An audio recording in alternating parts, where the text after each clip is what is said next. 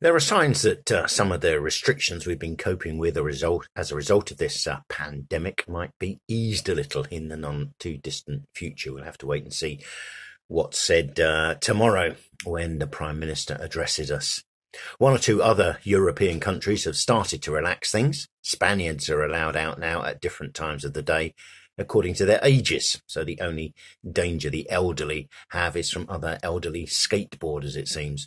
Some local travel restrictions have been lifted in Italy, and the Germans are being allowed out to go to the hairdresser or to attend church, although strict social distancing measures will still be in place, and they aren't allowed to sing any hymns.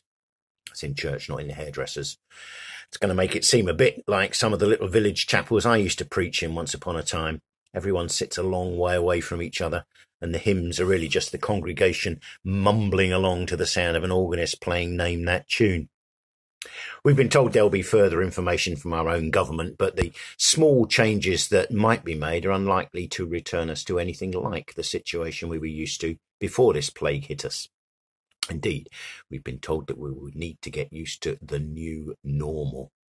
It'll be interesting to see just what that means. But as the prospect of any kind of normal glimmers very weakly at the end of the tunnel, how many things that we've seen creeping into our routines over the past two or three months will still be a part of it?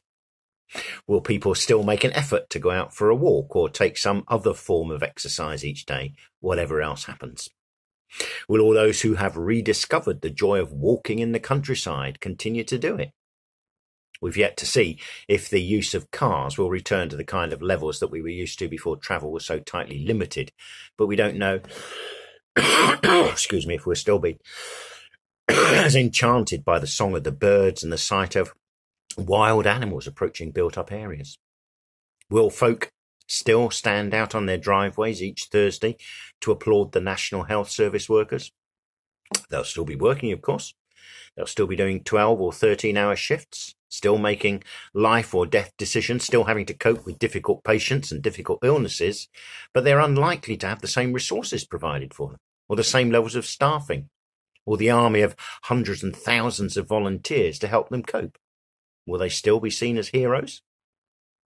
Will there still be the same level of giving to health charities as there has been over the past couple of months? Or will people just be back to instructing their accountants to ensure they pay as little tax as legally possible, thus limiting funds available for vital services?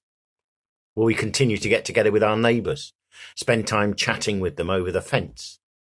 Will our patient queuing at the supermarket still be in evidence when it's not the virus restrictions that hold us up, but the person at the front of the queue can't find her purse, or the shopper who's mislaid the coupon she's cut out of the paper, or the young mum trying to deal with a toddler's tantrum.